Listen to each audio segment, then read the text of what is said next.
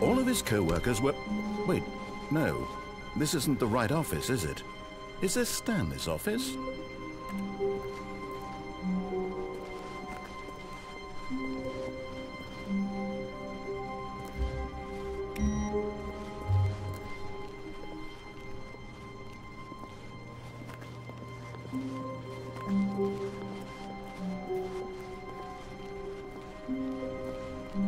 When Stanley came to a set of two open doors, he entered the door on his left.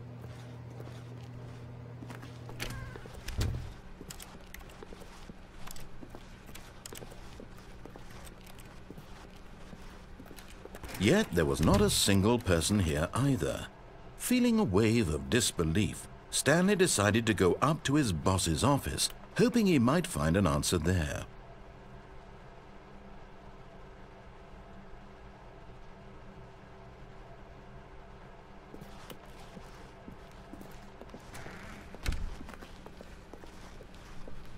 Coming to a staircase, Stanley walked upstairs to his boss's office.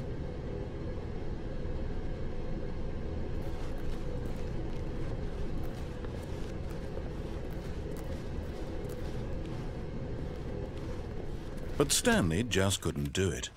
He considered the possibility of facing his boss. Admitting he had left his post during work hours, he might be fired for that. And in such a competitive economy, why had he taken that risk? All because he believed everyone had vanished? His boss would think he was crazy. And then something occurred to Stanley. Maybe, he thought to himself, maybe I am crazy. All of my co-workers blinking mysteriously out of existence in a single moment for no reason at all? None of it made any logical sense. And as Stanley pondered this, he began to make other strange observations. For example, why couldn't he see his feet when he looked down? Why did doors close automatically behind him wherever he went? And for that matter, these rooms were starting to look pretty familiar. Were they simply repeating? No, Stanley said to himself, this is all too strange. This can't be real. And at last, he came to the conclusion that had been on the tip of his tongue. He just hadn't found the words for it. I'm dreaming, he yelled. This is all a dream. Oh, what a relief Stanley felt to have finally found an answer, an explanation. His co-workers weren't actually gone. He wasn't going to lose his job. He wasn't crazy after all and he thought to himself, I suppose I'll wake up soon. I'll have to go back to my boring real-life job pushing buttons. I may as well enjoy this while I'm still lucid. So, he imagined himself flying and began to gently float above the ground. Then he imagined himself soaring through space on a magical starfield, and it too appeared. It was so much fun, and Stanley marveled that he had still not woken up. How was he remaining so lucid? And then perhaps the strangest question of them all entered Stanley's head. One he was amazed he hadn't asked himself sooner. Why is there a voice in my head dictating everything that I'm doing and thinking? Now the voice was describing itself being considered by Stanley, who found it particularly strange. I'm dreaming about a voice describing me, thinking about how it's describing my thoughts, he thought. And while he thought it all very odd and wondered if this voice spoke to all people in their dreams, the truth was that, of course, this was not a dream. How could it be? Was Stanley simply deceiving himself? Believing that if he's asleep, he doesn't have to take responsibility for himself? Stanley is as awake right now as he's ever been in his life. Now, hearing the voice speak these words was quite a shock to Stanley. After all, he knew for certain, beyond a doubt, that this was in fact a dream. Did the voice not see him float and make the magical stars just a moment ago? How else would the voice explain all that? This voice was a part of himself too. Surely, surely, if he could just... He would prove it. He would prove that he was in control, that this was a dream. So he closed his eyes gently, and he invited himself to wake up.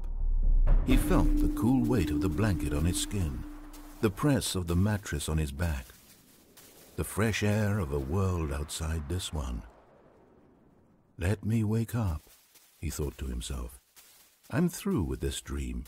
I wish it to be over. Let me go back to my job. Let me continue pushing the buttons. Please. It's all I want. I want my apartment, and my wife, and my job. All I want is my life exactly the way it's always been. My life is normal. I am normal. Everything will be fine. I am okay.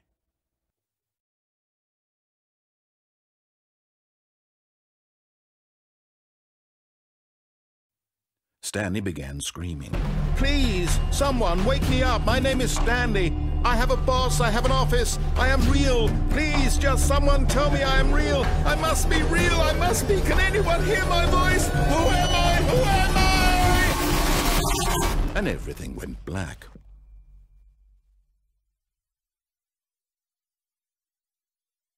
This is the story of a woman named Mariella. Mariella woke up on a day like any other. She arose, got dressed, gathered her belongings, and walked to her place of work. But on this particular day, her walk was interrupted by the body of a man who had stumbled through town talking and screaming to himself, and then collapsed dead on the sidewalk.